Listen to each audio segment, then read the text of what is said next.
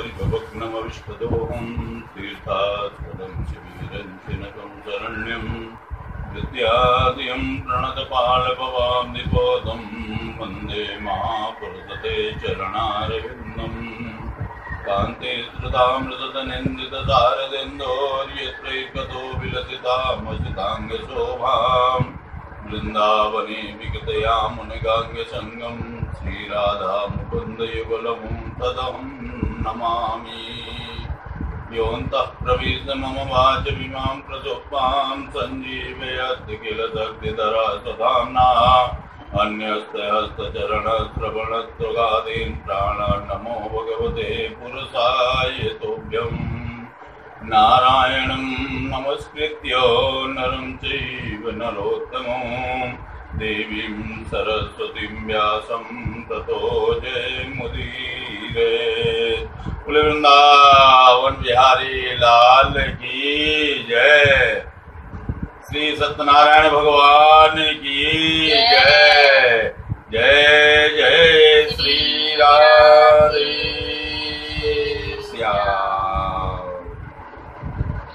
ओम श्री सत्यनारायणाय नमः।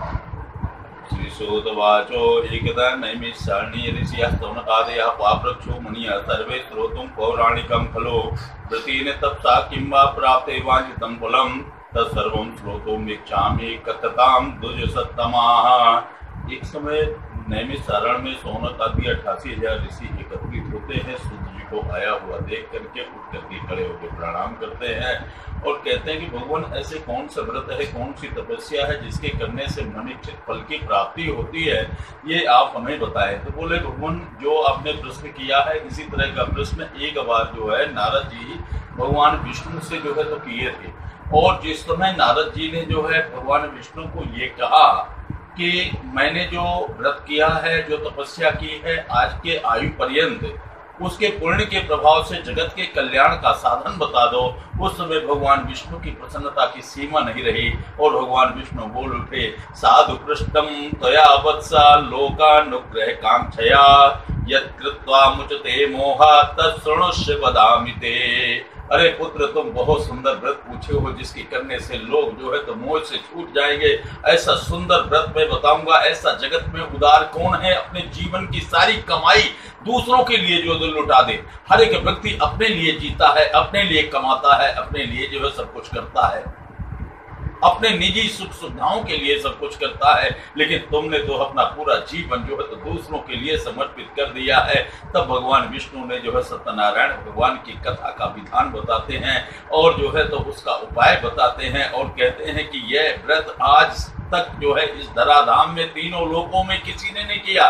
नारद तुम्हारे कारण जो है तो मैं इसे बता रहा हूँ। पूर्व की तरफ़ मुख करके इस व्रत को जो है तो करना चाहिए। इसके देवता जो है सत्यनारायण भगवान होंगे और सुंदर जो है तो जिस व्रत करे, उसके एक दिन पहले ही जो है तो संध्या के समय जो कुछ खाना पीना हो, दातुनी करके जो है तो सहन कर जाए। प्रातः काल ब्रह्म मुहूर्त में उठ करके जो है मंजन आदि करके, अपने नित्य कर्म को संपादित करके बाज़ार जा करके और नाना प्रकार की जो है वस्तुओं को एकत्र करे, सुंदर सोने की आकृति की, सत्यनारायण भगवान की एक प्रतिमा जो है तो बना करके यहाँ लाए और जो है पाँच प्रकार के कलशों को स्थापित करके, प्रतिमा की प्रतिष्ठा करा करके, ब्राह्मणों के साथ में धर्म में तत्पर होकर के और सपात मात्रा में जो है तो नैवेद्य समर्पित करे, केले का फल ज़रूर अर्पण करे, गेहूँ के चूर्ण का प्रसाद बना करके अर्पण करे और इस तरह से विधि विधान से जो व्यक्ति हर पूर्णिमा, हर संक्रांति में भगवान के व्रत को करेगा, निश्चित जो है उसके मनोरथ की प्राप्ति होगी। इस तरह से नारद जी ने जो है जब व्रत को ज्ञात किया तो ऋषियों ने कहा कि बताइए, इनके अलावा कोई व्रत किया कि नहीं किया जब तक नारद जी ने ज्ञात किया? बोले हाँ काशी नामक नगर में एक ब्राह्मण भूख प्यास से व्याकुल होकर के प्रतिदिन जगह जगह भिक्षा किया करता था। ब्राह्मणों के बड़े प्रेमी। सत्यनारायण भगवान मार्ग में ब्राह्मण से मिलते हैं और कहते हैं किमर्थम विप्रा मही नित्यम सुदुखितम तत्सर्वम श्रोतुम इच्छा कथताम दुज सत्तमा ब्राह्मण तुम दुखी होकर के पृथ्वी में क्यों घूमते हो? ब्राह्मण ने कहा, भगवान, मैं ब्राह्मण हूँ, दलित हूँ भिक्षा के लिए घूमता हूँ। यदि आप कोई उपाय जानते हो तो बताइए। भगवान ने अपने व्रत का विधान बताया, उपाय बताया और अंतर्ध्यान हो गए। अब ब्राह्मण जो है व्रत किया, इस व्रत के प्रभाव से धन, धान आदि से जो है तो समन्वित हो गया। एक दिन यही ब्राह्मण भगवान के व्रत को विधि विधान से कर रहा था। उसी समय एक लकड़हारा जो है तो वहाँ से गुजरा। और लकड़ी के भार को मस्तक में रखे हुए पानी पीने की इच्छा से ब्राह्मण के दरवाजे पर स्थापित किया, अंदर प्रविष्ट हुआ, देखा, कथा हो रही है बैठ करके कथा श्रवण किया।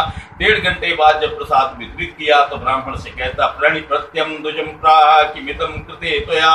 कृते किम फलम आपनोते विस्तारात बद में प्रभो। अरे भगवान यही आप क्या कर रहे हो? जो करते हो, उसको विस्तार से जो है हमसे कहिए। ब्राह्मण ने कहा कि ये सत्यनारायण भगवान का अमृत है मेरे घर में, जो भाई वो देख रहे हो। ये भगवान की कृपा से जो है प्राप्त हुआ है लकड़हारा निश्चित किया, मैं भी व्रत करूँगा। लेकिन भाग्य के ऊपर आश्रित होकर के नहीं बैठ गया, बल्कि उद्यम किया। जो व्यक्ति कहता है कि मेरे भाग्य में नहीं है, मेरे भाग्य में नहीं है, वो व्यक्ति आलसी है।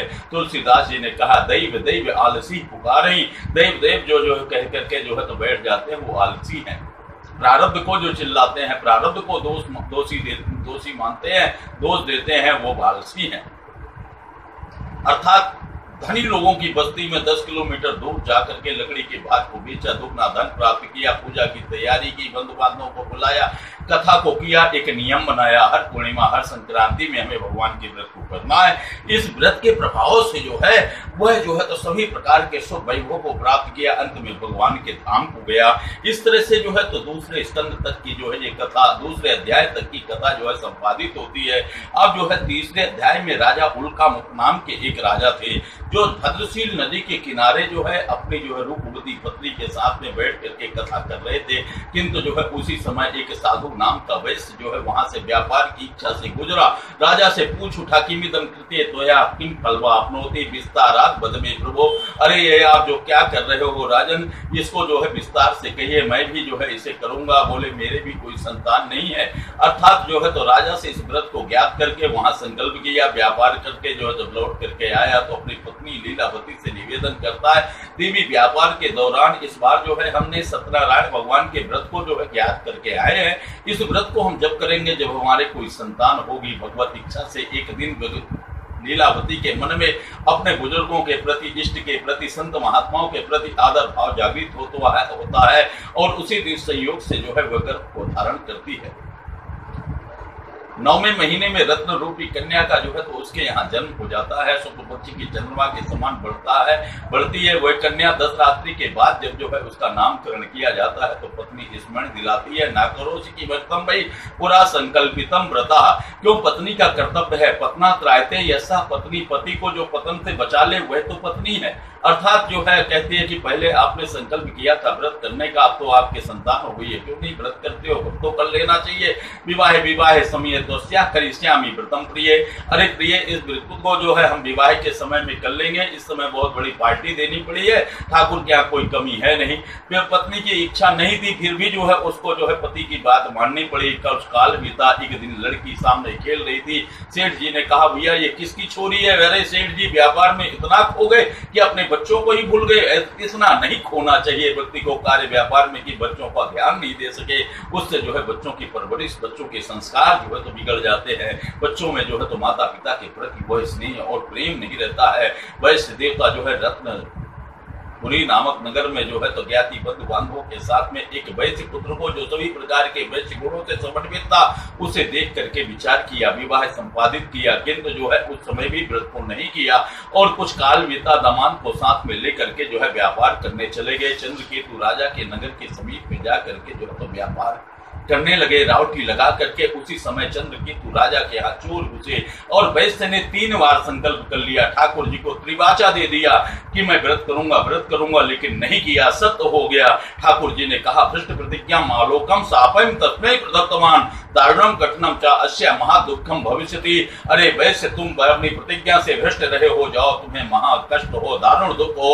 बस इतना कहने की देरी कि चोर जो चंद्रकेतु राजा के यहाँ से धन चोरा के भाग रहे थे लेकर के उनके मन में एक विचार आया, भारी भरकम धन को लेकर के भाग नहीं पा रहे, इन वैश्यों के रावटी में धन को छिपा देते हैं। फिर आएँगे, इनसे भी छीन करके जो है, इनका भी धन ले जाएँगे, इनकी जानी कितनी होती है। अभी तो जान बचाना जो है, आवश्यक है। धन को रख करके चोर भाग गए, राजा के दूत रावटी में प्रवेश किया, राजा के धन को प्राप्त किया, पहचान लिया, बोले, किन की है? बोले, इनकी है। ले जाकर के कारागार में बंद कर दिया। और यथार्थ में जो है, लीलावती, कलावती जो घर में रहती थी, उनके यहाँ चोर घुसे, धन चोरा चुरा करके लेके चले गए।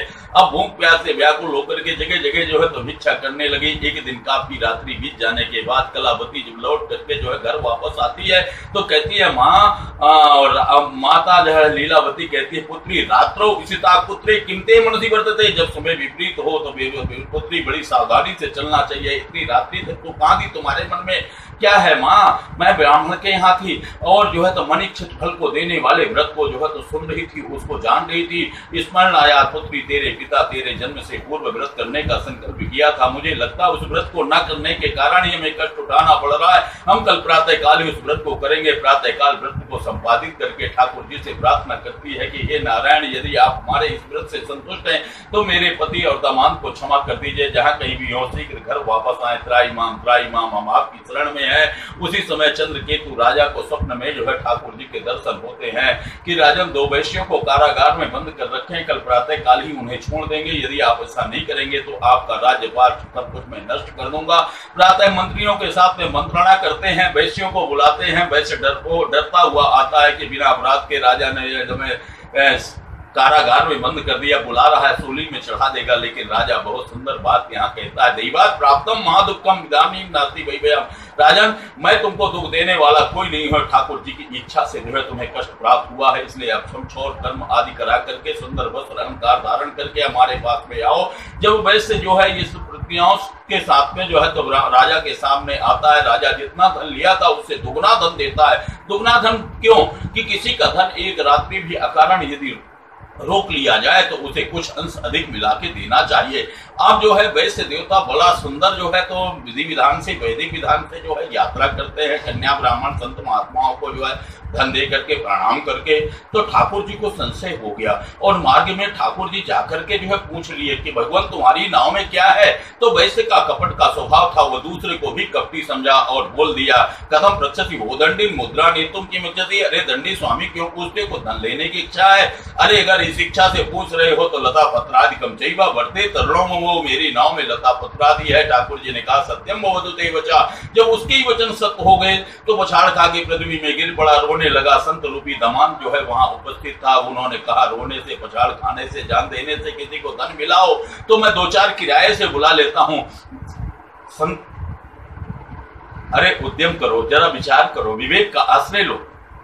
जो महात्मा इतना सामर्थ्यशाली कि आपको जो है श्राप देकर के हीरा जवाहरा को जो है लता पत्रादि बना दिया, वह आशीर्वाद देकर के हीरा जवाहरा बना सकता है। अभी कहीं बहुत दूर नहीं गया होगा।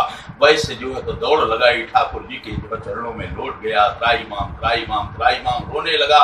मुझे क्षमा कर दीजिए। उस समय ठाकुर जी कहते हैं कि तुम जो है बार बार कष्ट उठाने के बाद भी मुझे भूल गए। इसलिए जो है तो मैं तुम्हें जो है ये कष्ट दिया हूँ। आप जो है तो भगवान उसने वैश्य ने कहा, मैं आपकी पूजा करूँगा। तो कैसे करोगे? तो कपट करके करोगे? बोले, यथा विभव बीस तरह जैसा मेरे पास विभव है, उसके अनुसार आपकी पूजा करूँगा, लेकिन एक काम करो, जो आपने धन ले लिया है, वह तो दे दो। ठाकुर जी ने आशीर्वाद दिया, नाव में धन प्राप्त करके बड़ा प्रसन्न हुआ। वही सत्यनारायण भगवान की कथा को संपादित किया, फिर अपने नगर के लिए प्रस्थान किया। कुछ दूर चलने के बाद अपने धन के रक्षक दूत को जो है तो नगर के लिए भेजता है। वहाँ माता और पुत्री जो है कथा की तैयारी कर रही थी। लीलावती ने जो है कलावती के ऊपर कथा का भार डाला। पति के अगमानों की इच्छा से चली गई। अब जो है कलावती ने जो है कथा को संपादित तो किया, किंतु जो है पति के दर्शन की त्वरिता के कारण प्रसाद को त्याग करके चली गई। ठाकुर ने सोचा कि ये इसने प्रसाद का अपराध किया, किसके कारण? बोले पति के कारण। इसलिए जो है इसको श्राप दे देते हैं, श्राप दे दिया। वहाँ जो है तो क्या श्राप दिया? उसके पति के नाव को समुद्र में छिपा दिया। अब पति के नाव को समुद्र में प्राप्त न करके पछाड़ खा के गिर पड़ी, विलाप करने लगी और यहाँ तक कि पति की चरण पादकों को लेकर के जो है सती होने के लिए उद्दित हो गई। इस विचार को जान करके ज्ञाति बंधु बांधव माता आदि सब बड़े दुखी हो गए। एक सौ से सत्यनारायण भगवान को आवाज़ लगाई। उसी समय आकाशवाणी हुई कि वैसे तुम्हारी कन्या प्रसाद को त्याग कर पति के दर्शन की इच्छा से यहाँ चली आई। यदि घर जाए तो इसे जो है प्रसाद ग्रहण करके आए और फिर जो है तो इसके पति अवश्य से प्राप्त होंगे। कन्या ऐसा ही किया घर जा करके प्रसाद ग्रहण करके आती है, पति को प्राप्त करती है, बड़ी प्रसन्न होती है वैसे देवता एक नियम बनाते हैं, हर पूर्णिमा, हर संक्रांति में हमें भगवान के व्रत को करना है। इस नियम के प्रभाव से इन लोग के शुभम मुक्ता चा अंत्य सतपुरम जियो। इस लोक में सुख पा करके अंत में सत्यनारायण भगवान के धाम को जाते भय इस तरह से ये चौथा अध्याय जो है, संपादित होता है, जो स्कंद पुराण के अनुसार जो है तो लिया गया है। अब जो है पाँचवें अध्याय में राजा तुंगक ध्वज नाम की राजा की कथा आती है, जो सत्यवादी थे अपने प्रजा को जो है संभाव से जो है मानते थे, जो राजभवन में बनता था, रोज राज, राजकुमार पहनते थे, वही सारी प्रजा पहनती थी, वही सब लोग खाते पीते थे। लेकिन ऐसे समतावादी राजा जंगल में गया, शिकार खेला, शिकार खेलने के वजह से उसके मन में विषमता आ गई। सामने ग्वालवाल लोग जो है भगवान की कथा कर रहे थे, राजा उनके समीप में नहीं गया। ग्वालवालों ने जो है तो कथा संपादित होने के बाद राजा को प्रसाद दे करके जब आते हैं और तो राजा उस प्रसाद को त्याग करके जो है अपने राज्य में आता है, देखता है सौ के सब पुत्र युद्ध में मारे गए। किसी राजा का अधिकार हो गया। राजा को बिल्कुल समय नहीं लगा। पूर्व भजन के प्रभाव से उसने निश्चित किया, ठाकुर की माया है। उन्हीं लोगों के साथ में बैठ करके कथा संपादित किया, क्षमा याचना किया। राज्य में आकर के जो है तो अपने राज्य को प्राप्त किया, पुत्र को प्राप्त किया, एक नियम बनाया। हर पूर्णिमा, हर संक्रांति में हमें भगवान के व्रत को करना है। इस व्रत के प्रभाव से इस लोक में सुख पा करके अंत में सत्यनारायण भगवान के धाम को गया। मित्रों, सबसे पहले जो आपने जो है तो काशी नामक ब्राह्मण काशी नामक नगर में सतानंद नामक ब्राह्मण की कथा श्रवण की। इस कथा के प्रभाव से सुदामा नामक जो है तो ब्राह्मण होता है और उस समय जो है तो श्री कृष्ण भगवान की भक्ति करके अंत में इसे मोक्ष की प्राप्ति होती है। काष्टवारो वही बिल्लो विराज बभू लकड़हारा की जो आपने कथा श्रवण की है, इस कथा के प्रभाव से गुहराज भील होता है और प्रभु राम की वनवास के समय में सहयोग करके अंत में उसे मोक्ष की प्राप्ति होती है। उल्का ध्वज नाम के राजा की जो आपने कथा श्रवण की, इस कथा के प्रभाव से महाराज दशरथ होते हैं और श्री रंगनाथ भगवान की पूजा करके अंत में उन्हें वैकुंठ की प्राप्ति होती है। या धार्मिका सत्संध्य साधु मुहूर्त ध्वजो भव। इस वैश्य के लिए जो है धार्मिक शब्द का संबोधन किया गया। क्यों? पहले यह अधार्मिक था अधर्म आचरण करता था, अब ये धार्मिक हो गया है। इसलिए जो है इस बात को जो है तो बताते हुए मोर ध्वज नाम का राजा होता है। उस समय भी ठाकुर जी उसकी जो है तो परीक्षा लेते हैं, अपने पुत्र का आधा देश समर्पित करके। अंत में इसे मोक्ष की प्राप्ति होती है। तुंग ध्वज नाम की राजा की जो आपने कथा श्रवण की है, इस कथा के प्रभाव से स्वयं वो मनु होते हैं, सभी को भागवत धर्मों का उपदेश करते हैं। अंत में उन्हें मोक्ष की प्राप्ति होती है। वाल बालों की जो आपने कथा श्रवण की है, इस कथा के प्रभाव से भगवान द्वापर में ब्रज के निवासी होते हैं। भगवान श्री कृष्ण का सहयोग करके अंत में उन्हें मोक्ष की प्राप्ति होती है। ये सत्यनारायण भगवान की कथा, विष्णु भगवान की कथा है, जिसके जैसे मनोरथ है जैसी इच्छा है, उस तरह के मनोरथ की जो है पूर्ति करती है। बस आवश्यकता है हमें जो है पूर्ण श्रद्धा और पूर्ण विश्वास की। इस कंद पुराण रेवा कंडे सत्यनारायण व्रत कथायाम पंचमोध्याय श्री कृष्ण चंद्र भगवान की जय। श्री कृष्ण गोविंद, हरे मुरारी। हे नाथ नारायण वासुदेवा, हे नाथ नारायण वासुदेवा। हे नाथ नारायण वासुदेवा। बोलिए श्री सत्यनारायण भगवान की जय। वृंदावन बिहारी लाल की जय। जय जय श्री राधे